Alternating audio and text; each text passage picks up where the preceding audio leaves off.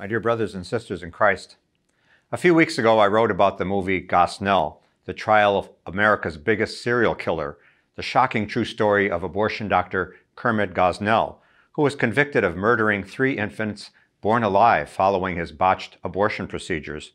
He was also convicted of involuntary manslaughter of one woman who died during an abortion procedure at his abortion clinic in Philadelphia.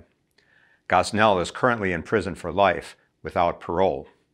Now another movie has been made and has been showing in theaters about the gruesome realities of the abortion industry.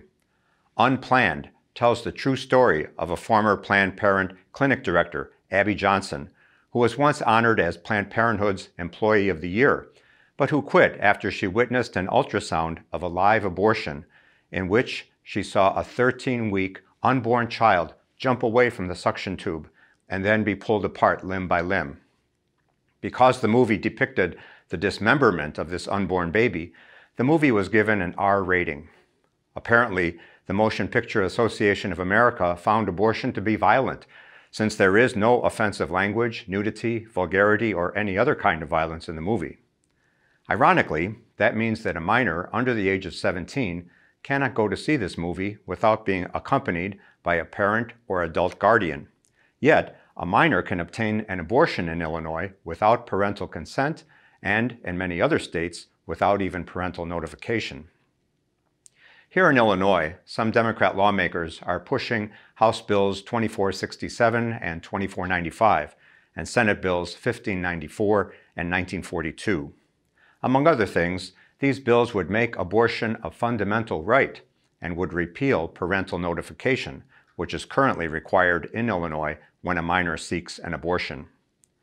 This past March 28th, Cardinal Blase Cupich of Chicago and I, along with the diocesan bishops of the other four Catholic dioceses in Illinois, held a press conference at the state capitol in Springfield to express our opposition to these extreme proposals.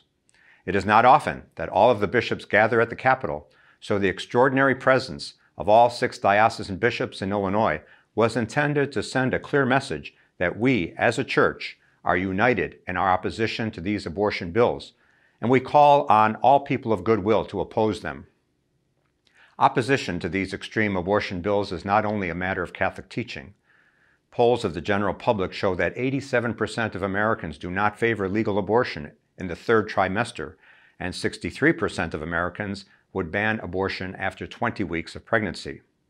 Moreover, 92% of Republicans and 61% of Democrats want significant restrictions on abortions, according to a Marist poll commissioned by the Knights of Columbus last year.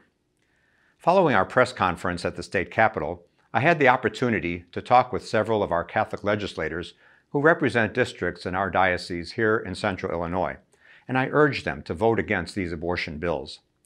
The following legislators pledged to vote no on the proposed abortion bills currently pending in the Illinois General Assembly. Representative Monica Bristow, Democrat from Alton, Representative Timothy Butler, Republican from Springfield, Representative Mike Murphy, Republican from Springfield, Representative Sue Scherer, Democrat from Decatur, Senator Rachelle Crowe, Democrat from Alton, and Senator Jil Tracy, Republican from Quincy. I commend them for their courage in standing up for the right to life of unborn babies. I also had a very positive meeting with Representative LaToya Greenwood, Democrat from East St. Louis, who is not Catholic. She said she normally considers herself to be pro-choice, but will vote no on these bills because she has been hearing from her constituents that the bills are too extreme. She is concerned about the proposed repeal of parental notification of a minor seeking abortion. Hopefully other pro-choice legislators will begin to see how extreme these measures are and will oppose them. The only legislator I contacted who has not responded to me is Representative Jay Hoffman, Democrat from Belleville, who canceled the meeting with me and has not returned phone calls or email inquiries from me and my staff. He did vote against abortion bill HB 40 in 2017, so we can hope that he will vote against these new abortion bills as well. We cannot take that for granted, however, so it is important for constituents to contact his office and let him know your opposition to these abortion bills. In fact, all voters should continue to express their opposition to HB 2467 SB 1594, HB 2495, and SB 1942 to prevent these dreadful bills from being enacted. To find out the name and contact information of your elected officials, go to our diocesan website for pro-life activities and special ministries at www.dio.org forward slash PLASM. As we enter into our Holy Week observances, commemorating our Lord's passage from his death on Good Friday to the new life of his resurrection on Easter Sunday, gives us hope that our culture of death can be transformed into a culture of life. May God give us this grace. Amen.